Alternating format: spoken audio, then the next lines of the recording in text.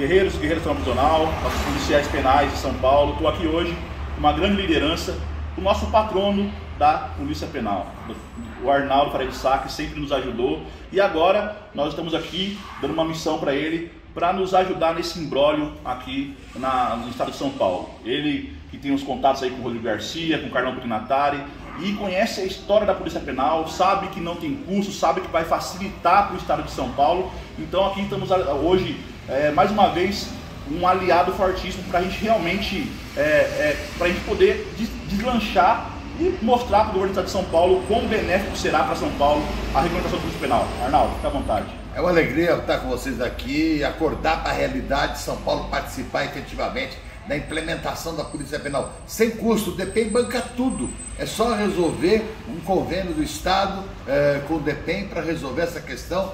A tranquilidade de um policial penal poder andar armado, é, garantir não só a sua família, é, o seu trabalho, para garantir a segurança de todo o Estado de São Paulo. Polícia Penal é a solução. Vamos lá! É isso aí, pessoal. Estamos aqui acabando essa reunião com o Arnaldo e vamos agora um novo aliado, inclusive Arnaldo Sá, Rodrigo Maia, que está aqui hoje no estado, no estado de São Paulo como secretário, é, Arnaldo também vai fazer articulação, articulação, Carlão Pignatari e vamos de vez aí aprovar a PEC e regulamentar toda a Polícia Penal. Abraço para todos. Polícia Penal já!